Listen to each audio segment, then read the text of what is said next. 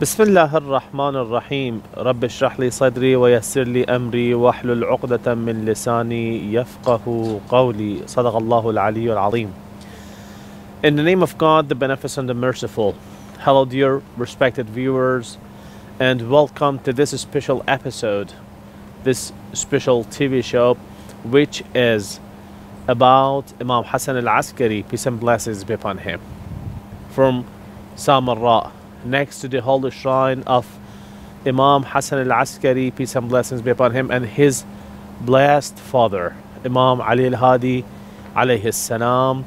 We are here to show our respect towards these two infallible Imams.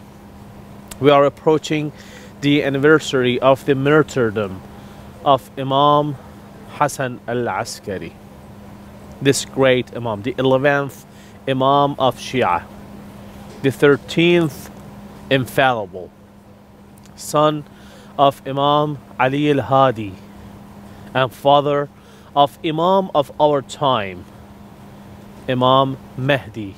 May Almighty God hasten his appearance. My dear brothers and sisters, here in Samarra, the atmosphere is so sorrowful, especially in these days, because of the martyrdom of this great Imam. Imam Hassan al Askari was so oppressed by the Abbasid kings, by those who couldn't stand Imam Hassan al Askari and they couldn't stand any pure person because of their tyrant rule, because of their terrible way of ruling the people. They couldn't stand, they couldn't see how respectful Imam Hassan al Askari, peace and blessings be upon him, is among people and among Shia Muslims. So that's why they kept Imam Hassan al Askari in a special place, in a very controlled place, in a military building. Among all those armies. That's why we call Imam Hassan al Askari Askari because he was living in an army camp. In this army camp, Imam was not allowed to communicate with his followers, with the Shia, ulamas, scholars, other lovers of Ahlul Bayt. They were not able to connect with Imam easily. This condition in which Imam Hassan al Askari, peace and blessings be upon him, was living in was so depressing, was so suffering. Imam was suffering and distress from the condition, the bad condition which Abbasid kings were preparing for him. As I told you, they were not letting Imam to communicate with his followers. But there will be a question why these Abbasid kings were trying to do such a bad kind of behavior with Imams not only Imam Hassan al-Askari, even Imam Ali al-Hadi and the other previous Imams, they all were oppressed by those oppressors. Especially for the for Imam Hassan al-Askari, peace and blessings be upon him, there may be three reasons, three main reasons why they were controlling and having eyes on Imam Hassan al-Askari, peace and blessings be upon him. So, if we notice the first important reason why Abbasid kings didn't let Imam to live a free life was because they were afraid of coming and burning Imam of our time, Imam Mahdi. The Abbasids feared the awaited Imam about whom the Holy Prophet Muhammad, peace and blessings be upon him, was told us, told us good news. They were afraid of Imam, the awaited Imam, who Holy Prophet Muhammad, peace and blessings upon him, had told us about in some good news. And he said that one of my grandsons will come and vanish all the tyrant and oppressing kingdoms and spread justice all around the world. But Abbasid kings, they didn't want this. They wanted to stay until the end and they didn't want to lose their kingdom. But they they didn't want to they didn't want Imam Hassan al-Askari to have a child because they knew that the awaited Imam is going to be uh, born and his father will be Imam Hassan al-Askari. The Prophet Muhammad, peace and blessings be upon him, had said that the awaited Imam would spread political, social justice all over the world. That he would do away with all kinds of justice and oppression and defeat all tyrants and oppressive powers in the world. He would do away with polytheism and atheism and raise the banner of faith and truth. He would revive the annual laws of Allah. Therefore, the Abbasids tried to kill Imam Hassan al Askari to be sure he would not live offspring. Imam Hassan al Askari said about that, they claimed that they wanted to kill me in order to cut off my offspring, but Allah, the Almighty, falsified their saying and praise be to Allah.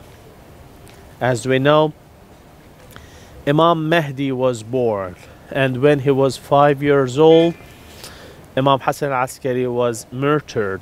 Imam Sahib al-Zaman, the may Almighty God hasten his appearance, was only five years old when his father was murdered. The second, if we can say, the second reason why Abbasid kingdoms, Abbasid kings, couldn't stand and bear Imam Hassan al-Askari, it was because they felt a kind of envy towards him. The Abbasids bore envy towards Imam Hassan al-Askari for his popularity and the great respect that all classes of society showed him. Whereas the authority was in the hand of the Abbasids who received nothing of respect or honoring from people. Therefore, they plotted day and night to do away with him. They had no respect. No one was respecting Abbasid kings because of their tyrant rule, because of because they were oppressing people. But in the other hand, people all loved Ahlul Bayt. They all loved Imam Hassan al-Askari, peace and blessings upon him. And that's why Abbasid kings, they couldn't stand, they couldn't bear such a thing. So they were planning how can they kill Imam Hassan al-Askari. So maybe they changed the attention of people towards themselves, but they were wrong, of course.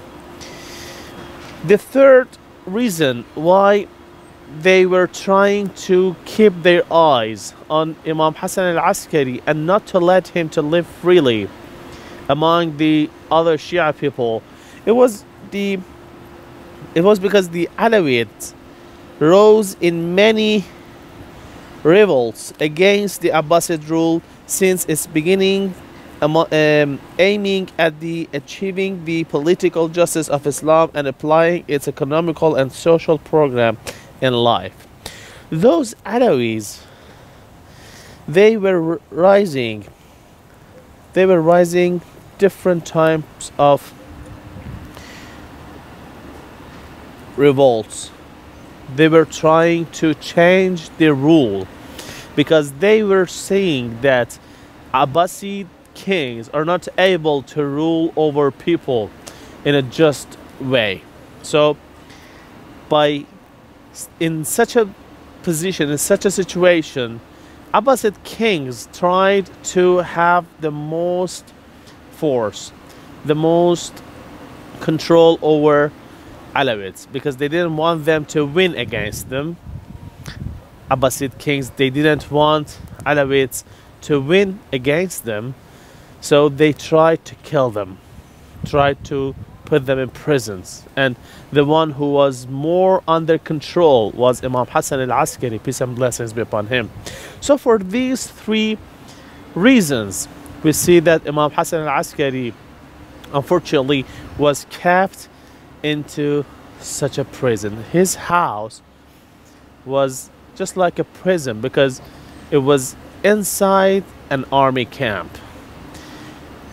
Days go and go and go until the age 260 of Hijrah, where Imam Hassan al Askari predicts his martyrdom and he, to- he tells to his mother that one day I will be sick and I will die for this sickness. And of course, Imam Hassan al Askari was meaning that Abbasid kings are going to poisoning me.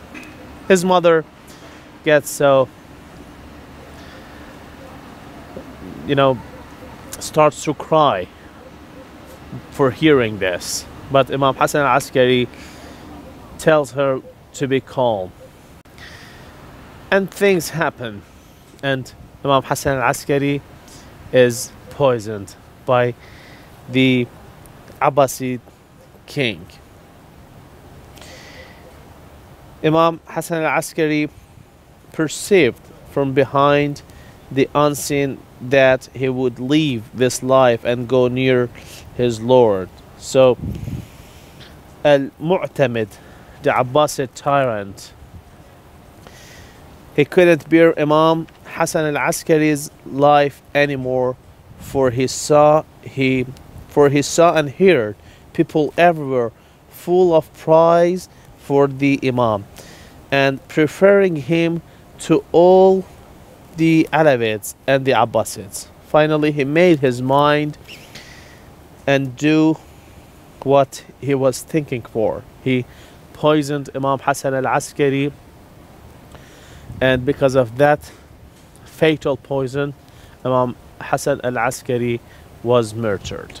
My dear brothers and sisters, here in Samarra, I would like to pray for all of you, for all the lovers of Ahlul Bayt, peace and blessings be upon them. And inshallah, I wish if you all can be able to come to Samarra and visit this holy land and this holy shrine. And inshallah, one time we all witness the reappearance of Imam of our time.